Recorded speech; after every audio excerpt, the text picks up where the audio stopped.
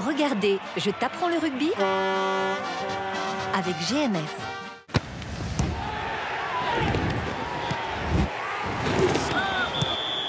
Viens, il y a toute l'équipe qui t'attend sur le terrain. Ouais, on va s'amuser, t'inquiète. Ça fait 5 ans que je joue au rugby. Je l'ai eu. J'aime ce sport parce que j'aime le sport collectif. J'aime jouer à la main. J'aime le contact. Je vais t'apprendre un truc essentiel dans le rugby, c'est le plaquage. Au début, le plus compliqué, c'est de tomber. Regarde. J'espère, avec euh, mon expérience du judo dans les chutes, que ça va m'apporter beaucoup au rugby. Un plaquage à mon âge, c'est en dessous la taille. Et pour les plus grands, c'est en dessous l'épaule. Et on tombe avec l'adversaire, le porteur du ballon. Le plaquage sert à stopper l'attaque, à récupérer le ballon. Et ça relance le jeu. C'est le contact avec l'adversaire et le contact avec le sol. Jérémy, je trouve qu'il est pas mal sur le terrain. Il plaque bien et il se laisse aller au sol.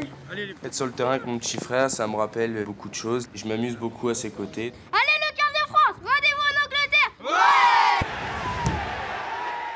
C'était Je t'apprends le rugby avec GMF, partenaire du 15 de France depuis 30 ans.